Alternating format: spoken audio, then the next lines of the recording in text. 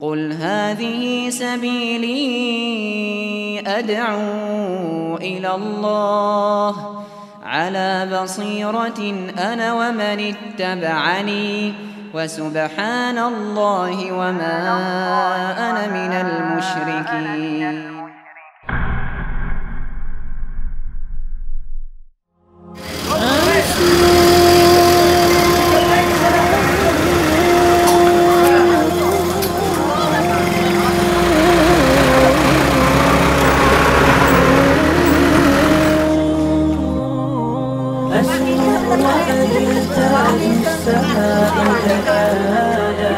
فأزيد أسراب الخطوم جمالا وألون الدنيا بأجمل بسمة وأكون للخير العميم مثالا أسمو وأجتاز السماء جلالا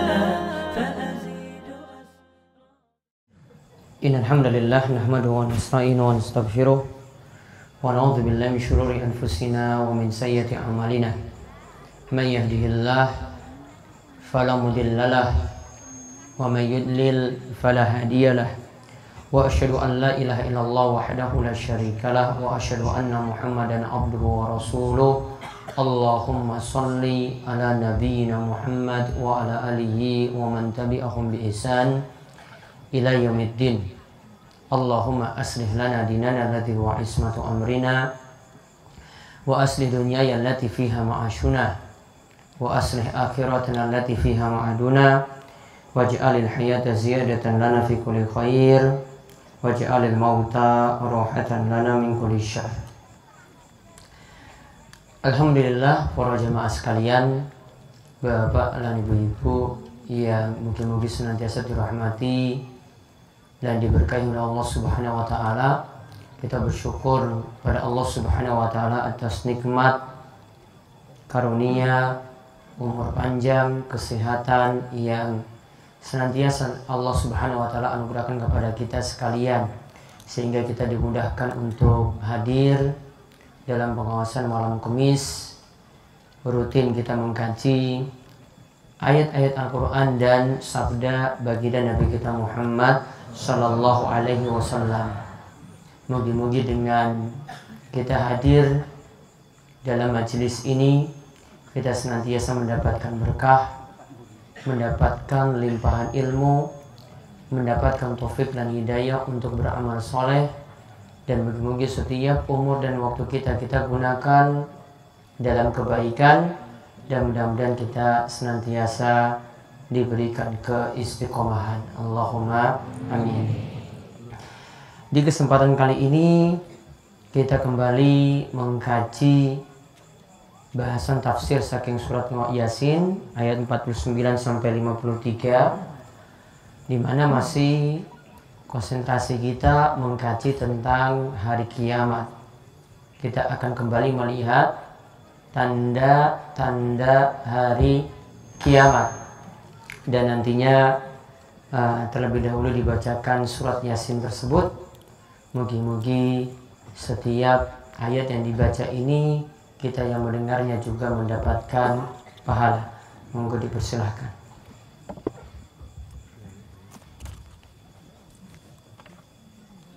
أعوذ بالله من الشيطان الرجيم ما ينظرون إلا صيحة واحدة تأخذهم وهم يخصمون. فلا يستطيعون توصية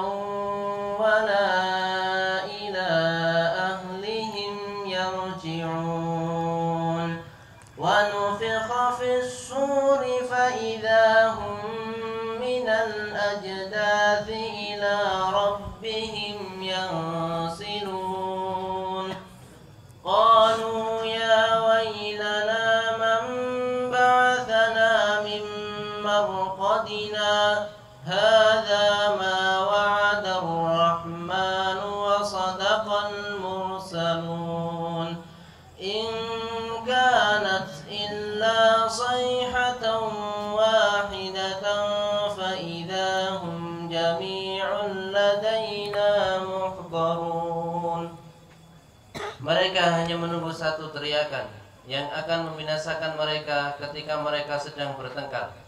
Sehingga mereka tidak mampu membuat suatu wasiat dan mereka juga tidak dapat kembali kepada keluarganya. Lalu ditiuplah sangkakala.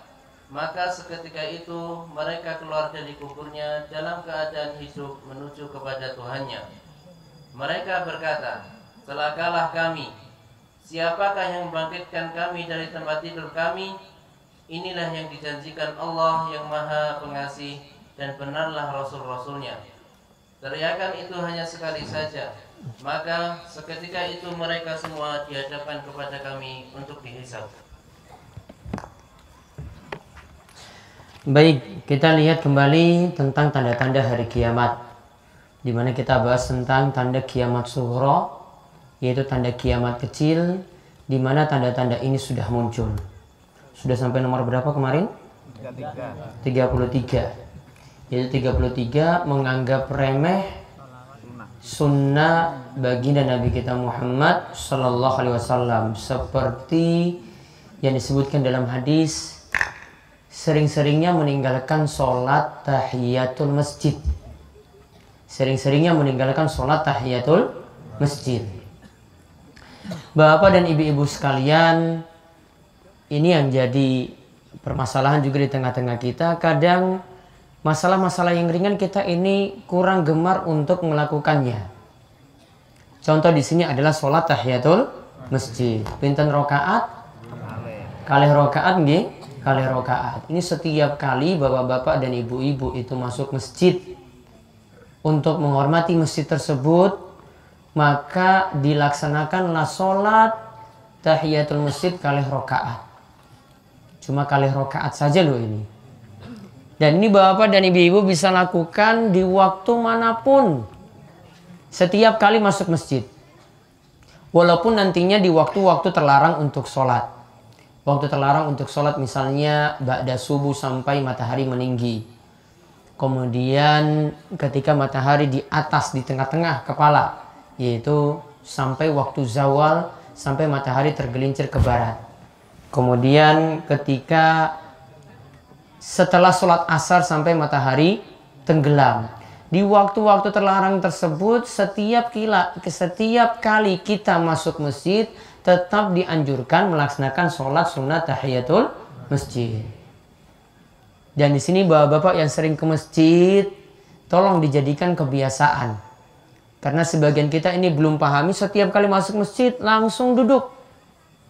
Padahal kata Nabi Shallallahu Alaihi Wasallam, "Iza dakhala ahadukumul masjida, fala yajlis hatta yarka'a rak'atain." Kata Nabi Shallallahu Alaihi Wasallam, setiap kali jika salah seorang di antara kalian itu masuk masjid, maka jangan langsung duduk, namun hendaklah melakukan sholat dua rokaat. Sholat kali rokaat yang dilakukan terlebih dahulu. Jangan langsung duduk ketika itu. Maka ini sholat yang sederhana dan sering kali saya jelaskan sholat tahiyatul masjid masih bisa digabung dengan sholat-sholat yang lainnya. Sholat tahiyatul masjid itu masih bisa digabung dengan sholat-sholat yang lainnya. Dan bahkan ada beberapa aturan sholat sunnah yang mungkin bapak dan ibu-ibu ini kurang memahaminya. Yang pertama sholat tahiyatul masjid masih bisa digabung dengan sholat sunnah yang lain. Misalnya masuk masjid langsung sholat rawatib. Contoh yang pahalanya paling besar dari sholat rawatib adalah sholat sunnah fajar atau sholat qobliyah subuh. Bahkan dikatakan dalam hadis Nabi Shallallahu Alaihi Wasallam tidak pernah meninggalkan sholat sunnah fajar. Sholat sunnah fajar tidak pernah ditinggalkan oleh baginda Nabi kita Muhammad Shallallahu Alaihi Wasallam. Kalau yang sering kita lakukan itu sering meninggalkan sholat sunnah. Ya, ada juga yang keterlaluan sholat subuhnya juga ditinggalkan. Dua-duanya nggak dapat kebaikan sama sekali. Padahal sholat sunnah saja. Sholat sunnah fajar bapak dan ibu-ibu sekalian. Sholat sunnah fajar. Pahalanya kata Nabi SAW. Rok'at al-fajri khairum minad dunya wa ma fiha. Dua rakaat qobliyah subuh atau dua rakaat sholat sunnah fajar tadi itu lebih baik daripada dunia seisinya. Cuma dua rakaat saja. Apalagi sholat subuhnya yang wajib tentu lebih utama dari sholat sunnah yang tadi disebutkan. Contoh lagi yang kita kurang memahaminya, sholat sunnah kalau kita kerjakan. Kalau kita kerjakan sholat sunnah. Lalu di belakang kita lagi ngikut. Karena barangkali dia zuhur misalnya, bapak dan ibu-ibu ada yang sudah melaksanakan sholat wajib, sholat zuhur. Lalu sekarang bapak ini mengerjakan sholat sunnah ba'diyah zuhur. Ternyata di belakang itu ada yang nepuk dengan niatan ingin melaksanakan sholat wajib zuhur. Dia belum sholat zuhur. Kita lagi sholat sunnah. Pertanyaannya apakah boleh beda niat antara imam dan makmum tadi? Imamnya sholat sunnah, kemudian makmumnya sholat wajib. Imamnya tadi kale rokaat qobli uh, ba'diya zuhur, ya makmumnya belum sholat zuhur, kerjakan sholat fardu zuhur. Ini padahal yang jadi dasar dalam mazhab syafi'i yang ada di tanah air kita masih dibolehkan beda niat antara imam dan makmum. Seperti yang dikatakan oleh Imam Syafi'i di dalam kitabnya Al-Um. Beliau katakan bahwasanya niat setiap orang yang melaksanakan sholat adalah niat bagi dirinya sendiri. Niat orang lain yang mengimaminya jika berbeda tidak membuat cacat ibadahnya. Juga dalam perkataan yang lainnya Imam Syafi'i katakan dalam Al-Um wa idza lam tafsud salatul ma'mumi bi fasadi salatil imami kanat niyatul imam idza khalafat niyatul ma'mum aula alla tafsud alaih Kata Imam Syafi'i rahimahullah, ingat Imam Syafi'i ini yang jadi pegangan di tanah air kita. Jadi dasar bapak dan ibu-ibu melaksanakan sholat itu semuanya dasarnya itu saking Imam Syafi'i. Imam Syafi'i mengatakan seperti ini, jika sholat imam batal, maka sholat makmum tidaklah batal. Namun imam harus keluar. Dan nanti ada yang gantikan imam ketika itu. Termasuk juga di sini kalau imam baru sadar sholatnya itu tidak sah ketika selesai sholat. Contoh misalnya imamnya belum mandi junub. Terus ngimami. Ya, kan jamaah nggak pada ngerti imamnya ini belum mandi junub. Apa ada yang nanya pada imam? Pak Imam, gue suci apa urung? Kan enggak? Dia laksanakan sholat, ternyata jam 6 pagi dia lihat di celananya, astagfirullah ini ternyata belum mandi junub. Makmumnya ketika itu, ya, nggak ada yang tahu kalau imamnya tidak sah sholatnya, asalnya tidak sah. Maka yang dilakukan nantinya oleh imam tadi, imamnya ulangi sholat jamaah atau makmum tidak mengulangi sholat. Tadi Imam Syafi'i katakan jika sholat imam batal maka sholatnya makmum tidaklah batal. Lalu Imam Syafi'i mengatakan maka jika imam tadi beda niat dengan makmum, wong tadi niatnya saja sudah batal.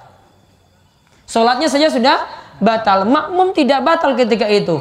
Maka kalau terjadi beda niat antara imam dan makmum, juga dibolehkan saat itu bukan masalah tidaklah masalah sama sekali jadi nggak usah bingung biasanya orang bingung itu karena nggak ngaji di mana mana orang bingung itu cuma karena nggak ngaji saya sedang sholat ada yang nepuk di belakang wah ini kepiye niatnya ya padahal dia cuma berubah niat saking sholat sendirian jadi imam selesai cuma berubah niat saja wah ini nanti saya ini sholat sunnah, dia itu sholat wajib. Gimana ya? Aduh, saya mau beritahu bagaimana ya? Itu karena belum ngaji, biasanya jadi wong bingung. Orang ngaji itu nggak akan pernah bingung. Masalah-masalah itu bisa selesai.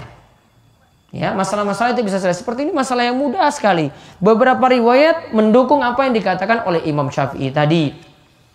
Contoh misalnya, Ada riwayat yang menyebutkan seorang sahabat ketika dia melaksanakan sholat, ya, pernah sholat isya bersama Nabi Shallallahu Alaihi Wasallam, sholat isya yang wajib. Kemudian dia balik ke dusunnya, balik ke kampungnya, dirikan sholat lagi. Sholat isya dia ulangi. Dan gak mungkin kan sholat isya dua kali. Gih. Namun niatan yang pertama barengan Nabi tadi itu sholat wajib. Ketika dia pulang ke kampungnya, sholat ngisa lagi, imami jamaah, niatannya ngisa namun cuma untuk mengimami. Dan ketika itu statusnya turun jadi sunnah. Statusnya turun jadi sunnah. Dan ketika itu jamaahnya sholat ngisa yang wajib. Imamnya sholat ngisa yang statusnya diulang. Yaitu statusnya sun, sunnah. Imamnya sunnah, jamaahnya wa, wajib. Sebaliknya, ada juga ceritanya ada seorang sahabat yang diminta oleh Nabi SAW. Ada yang telat sholat. Biar orang ini ada teman. Barengan jamaah. Biar ada teman barengan jamaah. Maka Nabi SAW tanya pada sahabat yang sudah sholat bareng beliau. Siapa yang mau sodakoh jadi imamnya orang yang telat ini. Kemudian ketika itu ada sahabat yang katakan, baik Rasulullah saya bersodakah untuknya. Dia jadi imam yang telat ini belum melaksanakan sholat wa, wajib. Imamnya tadi statusnya ulangi sholat lagi. Namun statusnya itu sholat sun, sunnah. Berarti imamnya sunnah, makmumnya wa, wajib. Berbeda niat antara imam dan ma, makmum. Jadi nggak masalah. Bahkan sampai sholatnya beda. Nama sholat. Yang satu sholat asar, yang satu sholat zuhur boleh. Misalnya, ini ada musafir. Belum melaksanakan sholat zuhur. Dia tunda sholat zuhurnya di waktu asar. Makmumnya, dia bermakmum di belakang imam sholat ngasar. Imamnya sholat ngasar, makmumnya sholat zuhur. Boleh. Seperti itu masih dibolehkan. Sudah bermakmum di belakangnya tidak masalah perkataan dari Imam Syafi'i ini sudah menjadi dalil apa yang disebutkan tadi. Intinya untuk sholat yang kita bahas tadi sholat sunnah apa pun jangan diremehkan. Contoh misalnya sholat duha, contoh misalnya sholat tahajud, contoh sholat misalnya sholat witir. Masa seumur hidup tidak pernah sholat sunnah sama sekali, itu sangat-sangat keterlaluan. Masa seumur hidup nggak pernah sholat malam sama sekali. Kalau nggak pernah sholat malam sama sekali, berarti di bulan Ramadan nggak pernah sholat tarweh. Biasanya kalau nggak sholat tarweh, apalagi sholat wajibnya tarweh saja nggak. Biasanya di bulan Ramadan kita itu paling rajin sholat tarweh, meskipun ngisa ada yang nggak. Iya ada yang nggak. Datang ucuk-ucuk imamnya wes tarweh, ikut tarweh. Ngisanya enggak. Karena dia merasa afdolnya kalau orang puasa itu lakukan sholat tarweh. Harusnya yang didahulukan sholat nisa. Tarweh enggak dilakukan pulang aja enggak masalah sebenarnya. Karena tarweh hukumnya sunnah. Untuk sholat nisa wajib. Prioritasnya saya sudah salah. Sama juga seperti kita lebih pentingkan sholat idul fitri, idul adha, dibanding dengan sholat subuh pada saat hari raya Idul Fitri. Berapa banyak orang yang nggak sholat subuh di hari raya Idul Fitri. Dikira kalau sudah rampung puasa, sholatnya wes rampung. Kurang sholat Idul Fitri tok. Makanya tanginya jam 6 langsung, wah mandi ini sebentar lagi sholat di lapangan. Sholat subuhnya sudah selesai ya karena sudah selesai bulan Ramadan puasanya wis rampung kurang disempurnakan dengan sholat Idul Fitri salah persepsi lagi salah memahami lagi yang dipentingkan sholat sunnah dibandingkan sholat wa wajib lalu sekarang kita bahas 34 ini spesial untuk ibu-ibu sekali-kali bahas untuk ibu-ibu ini mudah-mudahan banyak yang tersinggung nanti Ya memang ngaji itu singgung orang. Saya pernah khutbah Jumat. Ya khutbah itu umum. Setelah selesai saya turun khutbah, langsung ada jemaah yang dekati saya. Aduh Pak Ustadz, saya mohon maaf. Tadi memang saya sering tinggalkan sholat jamaah. Ya mohon maaf sekali. Jenengan tadi ceramah itu kok nyinggung saya. Ya memang ceramah itu nyinggung orang terus. Alhamdulillah tersinggung. Kalau orang tersinggung berarti nggak ada pengaruh tadi khutbah Jumatnya. Betul nggak? Betul. Jadi imam-imam itu khotib-khotib nyinggung orang saja. Sing malah sholat itu disinggung. Ya, sing malah sholat subuh disinggung terus. Pokoknya biar sadar. Kalau enggak enggak ada manfaat khutbah Jumatnya tadi ceramahnya enggak ada manfaat sama sekali. Masa ceramah cuma monoton seperti itu. Sing wingi takwa. Sing saiki takwa. Jumat besok takwa lagi yo pantasan jamaah ngantuk. Turu terus. Sekali-sekali dipanas-panasin. Ini sing malah sholat, ini yang pergaulannya bebas, ini yang biasanya main judi, disinggung masalah-masalah yang penting-penting kalau khutbah Jumat. Biar tersinggung. Sekarang 34. Di antara tanda kiamat mulai bermunculan. Sebenarnya bukan muncul lagi, sudah ada. Wanita-wanita yang berpakaian tetapi telanjang. Ibu-ibu yang berpakaian tapi telanjang. Nanti saya sebutkan sifat-sifatnya. Dan ini perlu hati-hati. Ini selain tanda kiamat karena Nabi Shallallahu Alaihi Wasallam tidak pernah melihat perempuan, tidak pernah melihat ibu-ibu seperti ini. Berarti ini kalau Nabi hidup di zaman ini, Nabi bilang ini perempuan aneh. Super super aneh. Beliau tidak pernah melihat di zaman beliau dulu di generasi terbaik. Yaitu saat para sahabat hidup tidak pernah sama sekali beliau lihat seperti ini. Dilihatnya atau terlihat munculnya itu di akhir zaman. Yaitu kata Nabi SAW saking Abu Hurairah radhiyallahu anhu hadis saking Muslim diriwayatkan oleh Imam Muslim sinfani min ahlin nar lam arohuma. Ada dua golongan dari penduduk neraka. Ingat ya, ini sifat pertama penduduk neraka. Ada dua golongan dari penduduk neraka yang belum pernah aku lihat. Berarti belum pernah dilihat oleh Nabi Shallallahu Alaihi Wasallam. Yang pertama ada orang yang memiliki cambuk dari ekor sapi digunakan untuk memukul manusia.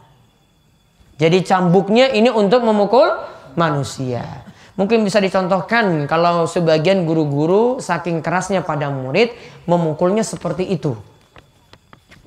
Ini dikatakan tanda hari kiamat golongan yang tidak pernah Nabi SAW melihatnya dulu di masa beliau. Dan diancam juga dengan neraka. Yang kedua kata Nabi SAW wanisaun dan ibu-ibu Kasiatun. Pakai baju. Ya, tetap bajunya ada. Berarti kalau bajunya nggak ada sudah lebih parah.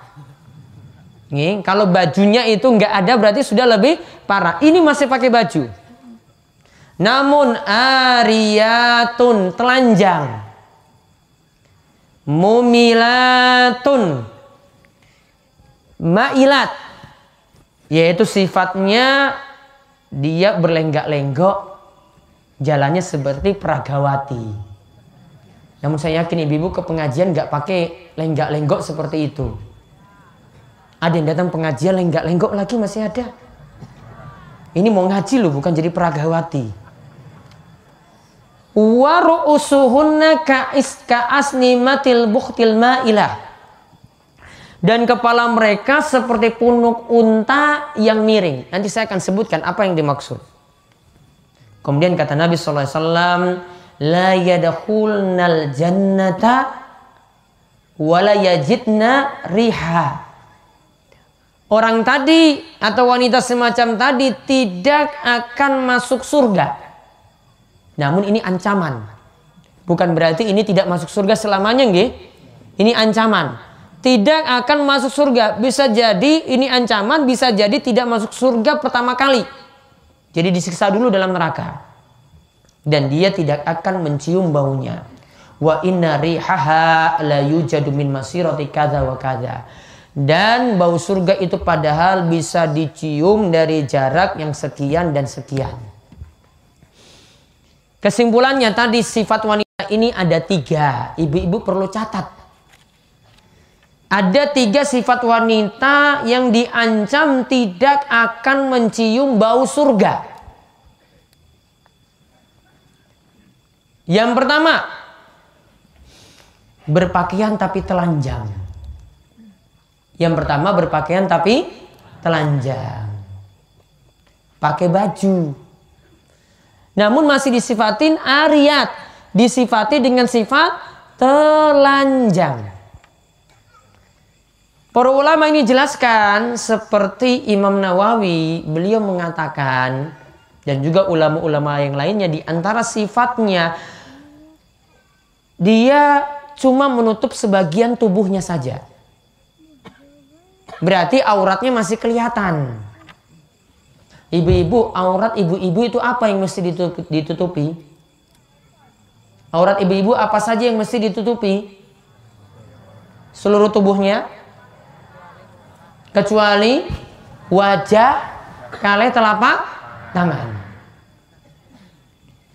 Dan sebagian ulama seperti Mazhab Hambali mengatakan wajah ditutup juga. Namun ini pendapat sebagian ulama atau sebagian atau minoritas ulama yang mengatakan cadar itu ditutup. Namun di dalam kitab-kitab mazhab syafi'i tetap masih disebutkan tentang masalah cadar. Jadi tolong ibu-ibu itu nggak anggap aneh orang yang memakai penutup wajah. Ya yang memakai penutup wajahnya. Ini bukan berarti dia ingin menyembunyikan suatu yang jelek dalam wajahnya. Orang Arab itu rata-rata ayu sekali. Jauh-jauh dari jauh sekali dengan sifat-sifat yang ada di sini. Hidungnya mancung-mancung loh. Itu ditutup malah yang cantik itu loh mereka yang cantik itu yang ditutup Jawaban mereka gampang. Kenapa wajah itu yang dipilih untuk ditutup? Kira-kira bapak-bapak untuk melihat ibu-ibu, dilihat cantiknya itu dari sikile, kakine, apa wajah? Padahal kaki itu ditutup. Mana yang membuat orang tertarik? Wajah apa sikile? Ketika ingin naksir ibu-ibu sebelum itu lepas dulu mantan anyar. Sebelum nikah Ya, sebelum nikah lihatnya itu wajahnya apa sih kile? Saya yakin semuanya setuju dengan saya kan. Itulah alasan sebagian itu kenapa menutup wa wajah. Jadi tolong jangan dianggap aneh seperti itu. Yang aneh itu sing ngaku muslim orang nganggo jilbab. Yang aneh itu yang buka-buka aurat. Jangan diubah, jangan dibalik. Sing aneh iki sing ora salat ngaku muslim. Sing aneh itu yang orang nganggo jilbab ngaku mus muslim. Sing aneh cuma pentingkan Islamnya itu pas akad nikah. Cari-cari Pak Naib, cari-cari KUA untuk akad nikah, padahal keseharian gak ada Islamnya sama sekali, kosong blong. Sholatnya bolong-bolong, parahnya blong. Itu baru cari-cari KUA loh. Makanya KUA itu kadang ngajarnya sulit juga kalau pas ijab kabul. Di syahadat kewe angel. Ash ashadu. Ashadu nanti jawabannya nanti. Angel sekali loh pas ini. Pas ijab kabul. Dulu itu di mana syahadatnya kok angel sekali. Jadi tolong jangan dibuat balik. Oke, makanya saya singgung seperti ini karena kadang atau sebagian atau ada jamaah yang datang sini itu mohon maaf ada yang bercadar. Itu karena punya prinsip seperti tadi. Nggih? Paham nggih Bapak Ibu-ibu nggih? Ya. jadi jangan lagi aneh ini nanti tuduh teroris lagi, tuduh ISIS. Terus yang orang ngangge jilbab ki dituduh apa? ISIS.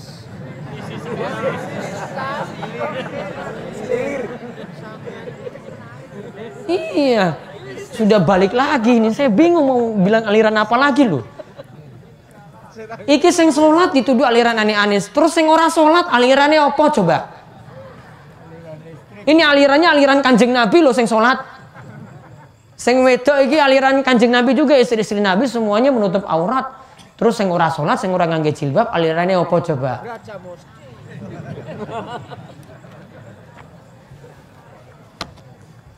Ya wes, ya paham? Nah. Sifat yang kedua dari wanita yang berpakaian tapi telanjang. Pakaiannya tipis. Ada juga pakaiannya ketat. Ada yang sudah nutup atas. Atasnya Arab, bawahnya Amerika. Ketat sekali. Apa celana apa pensil? Nih, Bapak ada yang pakai celana pensil nggak ada kan? Ibu-ibu yang ada. Pensil coba. Tahu kan pensil kan? Ih, rapat sekali. Bagaimana tidak terjadi pemerkosaan? Ada orang yang pakai jilbab, pakai kerudung, diperkosa juga. Ya coba lihat yang alasan diperkosa ini apa seharusnya jangan salahkan laki-lakinya terus. Ibu-ibu juga koreksi diri. Ada api, api itu ada pasti ada sebabnya. Nih, percikan api itu ada pasti ada sebabnya. Nggak mungkin rumah itu terbakar sendirinya, pasti ada sebab-sebab percikan api yang kecil. Ada koslet, Ya ibu-ibu buat koslet sih. Jadi masalah. Gimana laki-laki nggak nafsunya itu nggak naik? Betul nggak bapak-bapak? Betul.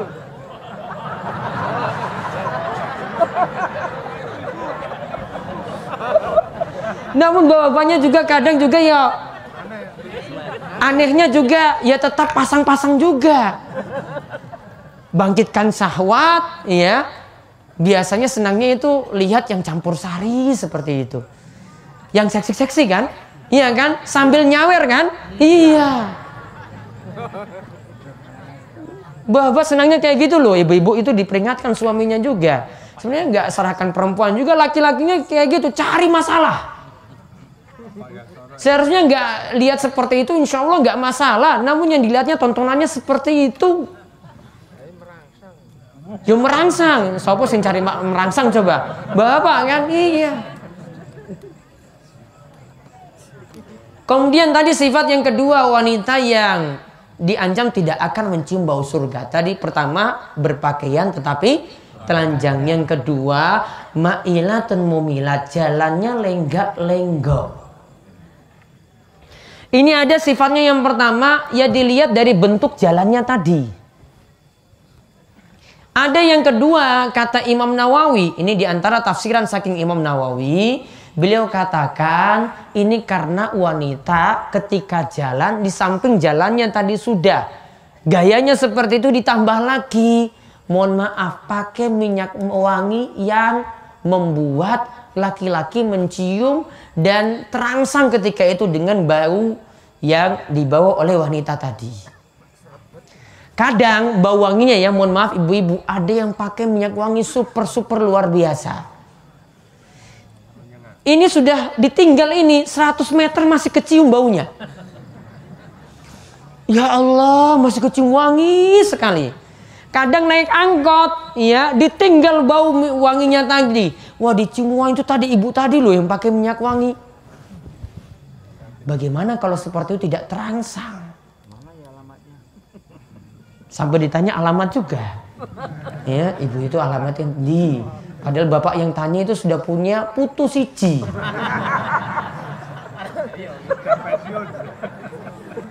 Wes pensiun lagi. Kemudian sifat yang ketiga yang diancam tadi tidak akan mencium bau surga. Kepalanya itu seperti punuk unta yang miring. Di antara bentuknya di sini wanita ini kata Imam Nawawi sengaja memperbesar kepalanya dengan mengumpulkan rambut di atas kepala. Seakan-akan memakai surban. Ini ibu-ibu saya contohkan ibu-ibu, kalau ikat rambut, okay, jangan ditaruh di atas ini. Diturunkan. Saya sering tegur ibu-ibu seperti itu. Saya sering tegur anak-anak juga seperti itu. Tolong diturunkan itu. Itu seperti punuk unta. Unta punuknya itu di atas. Nggih. Jadi ada gunungan di sini. Ini nggak boleh. Kalau mau diikat rambutnya turunkan ini, turun. Rambutnya ikat rambutnya di belakang, bukan di atas. Seperti punuk un unta. Jadi hindari ikat rambut seperti itu. Boleh rambut panjang, bukan masalah. Boleh rambutnya juga pendek. Namun Aisyah itu memuji wanita-wanita yang berambut pan panjang. Kata Aisyah radhiyallahu anha, laki-laki itu cakepnya, gantengnya kalau punya jenggot yang lebat. Tuh dengar kata Aisyah loh ibu-ibu. Jadi suaminya itu ngingu jenggot. Perempuan dengan rambutnya yang panjang makin cantik dengan rambutnya yang panjang tadi. Berarti bapak makin cakep dengan jenggotnya yang panjang. Koyo imam Masjidil Haram, jenggotnya semene loh. Itu tambah ganteng. Ya, ini bukan teroris. Nabi seperti itu jenggotnya. Makanya ketika Nabi SAW sholat ngimami poro jamaah, jenggotnya itu kelihatan naik turun. Kalau jenggotnya tipis nggak kelihatan. Kalau jenggotnya lebat, itu kelihatan dari belakang. Uh, Nabi punya jenggot yang lebat. Berarti makin ganteng itu kalau punya jenggot yang lebat. Jadi cari suami seperti itu. Saya nggak suruh cari suami baru. Sudah? Tiga tadi nggih? Yang pertama, sifat wanita yang diancam tidak akan mencium bau surga. Berpakaian tapi telanjang. Terus yang kedua, jalannya lenggak-lenggo atau memakai minyak wangi. Yang ketiga, kepalanya ada punuk unta, termasuk ada yang memakai sanggul. Ya, baiknya tidak dipakai seperti itu, Bu. Di samping enggak ngapusi orang. Ya, biar tidak juga diancam seperti hadis semacam ini. Tekstualnya seperti ini. Jadi yang saya sampaikan ini apa adanya. Saya enggak utak-atik hadis-hadis yang ada. Ya, ini hadisnya saya nggak utak-atik sama sekali. Perkataan dari para ulama Imam Nawawi katakan seperti plak. Saya sampaikan seperti itu. Jadi pengajiannya seperti ini pengajian apa adanya. Nggak usah utak-atik apa yang disebutkan oleh para ulama, apa yang disebutkan dalam ha hadis. Dan ini sebutkan ini nggak pakai bayaran. Kalau ustadz ngisi pakai bayaran dia bisa ubah-ubah loh. Oh, iki ibu-ibu ini ini bahaya nih kalau saya sampaikan kayak gini. Ini dibayar ya larang. Ini gak usah disampaikan aja lompat. Kan gak dibayar kan? Jadi enak. Ya, makanya kalau ngisi gak dibayar itu gampang sekali ngomongnya. Ya, ngomong apa adanya saja. Ngomong pokoknya ini plek seperti ini. Namun kalau pakai bayaran apalagi bayarannya tuh mahal 40 juta, 50 juta. Tahu artis TV? Ya Ustadz TV lah. Nih, Ustadz TV seperti itu. Ya makanya kalau saya undang tuh nggak mau yang mahal-mahal ya ngundang kok ngundang yang juga nggak ada isinya seperti itu ya pingin yang mengundang pembicara ke sini ya yang ada i, isi bukan hanya bunyi tok bukan hanya ngomong ngomong ngalor ngidul nggak jelas temanya itu apa bukan hanya pintar ngomong pintar orasi saja nyemangati namun nggak ada isinya sama sekali pingin menyampaikan itu yang ada i, isi jadi kesimpulannya kalau ibu-ibu simpulkan dari sini, berarti kira-kira pakaian ibu-ibu syaratnya apa saja? Nih, ini syarat pakaian ibu-ibu itu sudah diatur juga dalam ajaran agama Islam. Tolong dicatat ini syarat-syaratnya. Dari hadis saja tadi saja bisa kita simpulkan. Syarat pakaian wanita. Ini bukan yang kita bahas penutup kepala saja yang ibu-ibu pakai gamisnya, roknya, bajunya diatur juga dalam bahasan ini. Yang pertama, syaratnya menutupi aurat. Seluruh tubuh kecuali wajah dan telapak tangan. Yang kedua, pakaiannya tidak tipis Kalau tidak tipis di sini contoh, ibu-ibu tolong kalau sholat milih ruku kalau tidak pakai dalaman, ya milih ruku rukunya tidak boleh yang tipis. Sama juga kalau rambutnya itu nggak ditutup, nggak ada jilbab lagi di dalam, cuma pakai ruku saja. Rukunya yang dipilih juga jangan yang ti tipis. Kalau tipis maka sholatnya sini bermasalah karena ada aurat yang masih terlihat. Dan tujuan dia memakai baju atau memakai ruku tidak tercapai karena rukunya itu tipis. Maka kalau memakai yang tebal atau kalau pakai ruku yang tipis pakai rangkapan lagi di dalam. Ya mungkin uh, rukunya itu untuk menutupi tujuannya untuk menutupi bagian bawah karena biasanya ibu-ibu kalau memakai baju itu kakinya tidak ditutup maka tambah lagi dengan ruku ketika so sholat. Yang ketiga tidak ketat. Walaupun nanti ditutup oleh jilbabnya yang lebar. Tolong tidak pakai seperti itu. Ya. Tidak ketat di sini termasuk juga yang membentuk lekuk tubuh. Yang badannya ini tidak ter terlihat bentuk lekuk tubuhnya. Sama saja kalau pakaiannya ketat, walaupun pakai jilbab, ini tidak tercapai tujuan ini. Jadi hindari pakaian yang ketat. Cari yang lebar itu yang lebih bagus. Yang keempat, karena tadi disinggung tentang ma'ilatun mumilat, ya syarat ini harus dipenuhi, yaitu hindari memakai minyak wangi. Kalau ibu-ibu ingin agar badannya itu tidak timbul bau, cukup pakai sesuatu yang tidak menimbulkan bau di luar.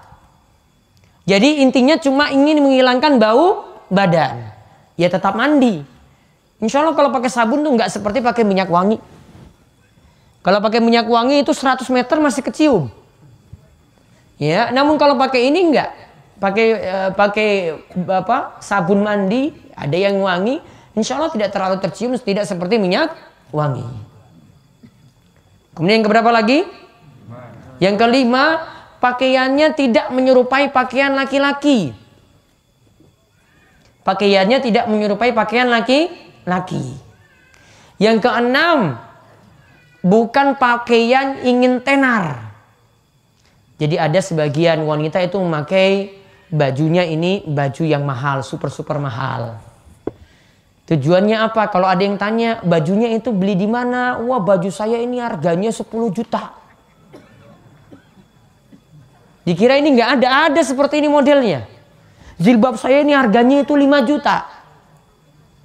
Karena saking kainnya itu mungkin super-super kain yang mahal. Padahal kalau tidak menutup aurat, tidak memenuhi syarat-syarat yang tadi juga tidak manfaat. Kemudian yang ke tujuh. Hindari memakai simbol-simbol yang ada salib. Karena ada di sebagian baju ada yang tanda palang. Termasuk juga bapak-bapak ada yang gemar bola itu biasanya memakai kaos bola. Kaos bola itu di beberapa klub sepak bola itu ada yang simbolnya memakai simbol sa salib. Kemudian yang ke delapan, pakaiannya dihindari pakaian yang ada gambar makhluk bernyawa. Ada gambar perempuan di situ, termasuk bawa bapak kalau pakai baju juga sama. Apalagi kalau mau sholat bawa bapak, apalagi kalau gambarnya di belakang sholat jamaah, jamaahnya gambarnya di belakang loh. Pas gambar perempuan nggak pakai baju.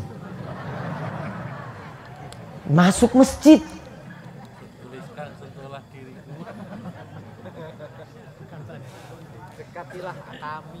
Coba gimana coba perasaannya itu jamaah yang di belakang.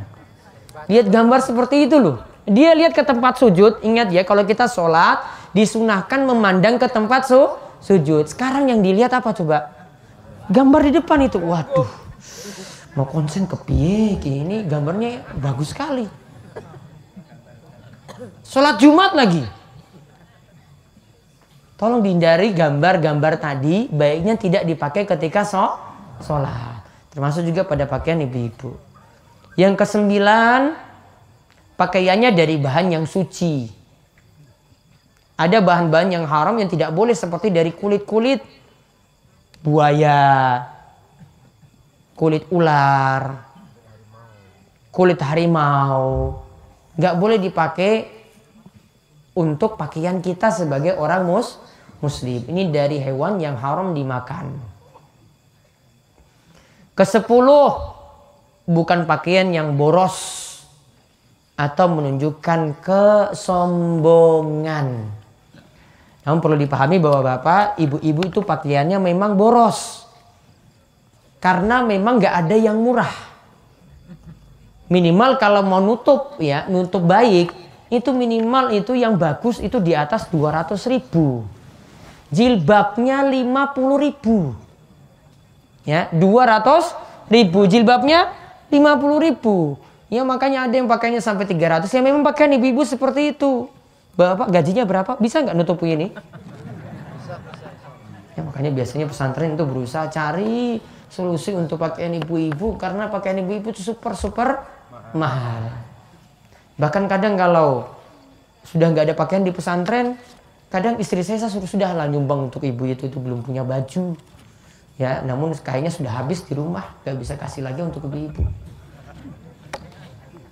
Kemudian yang ke-36. Maaf, 35 5 ya syarat tanda kiamat yang ke-35 36 insya Allah kita bahas pada pertemuan berikutnya.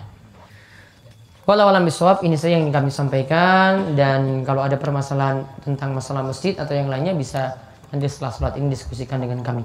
Ya demikian kita doakan mudah-mudahan Allah Subhanahu wa taala berkahi kita dengan ilmu dan terus memberikan kita keistiqomahan dan mudah-mudahan Allah menjaga Bapak dan Ibu-ibu sekalian diberikan kesehatan, diberikan umur panjang dan kita diberikan keistiqomahan di atas iman dan Islam. Kita tutup kalian doa kafaratul majelis monggo. Subhanakallahumma bihamdika asyhadu an la ilaha illa anta astaghfiruka wa atubu ilaik. Assalamualaikum warahmatullahi wabarakatuh.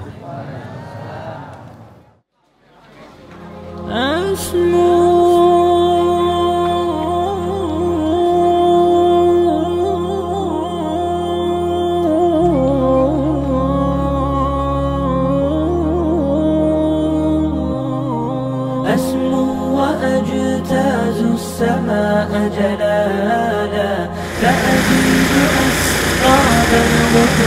الغفور جمالا وأنور الدنيا بأجمل نسمة وأكون للخير العليم مثالا أسمو وأجتاز السماء جلالا Nah itulah video-video dari Solihin TV.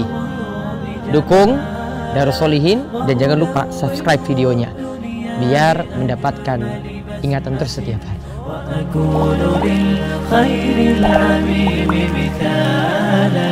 وأراقب الرحمن جل جلاله وتقدست أسماؤه وتعالى وأكون للوطن الحبيب مشيدا أنمى إليه وأستفيض جلال وأراقب تقدست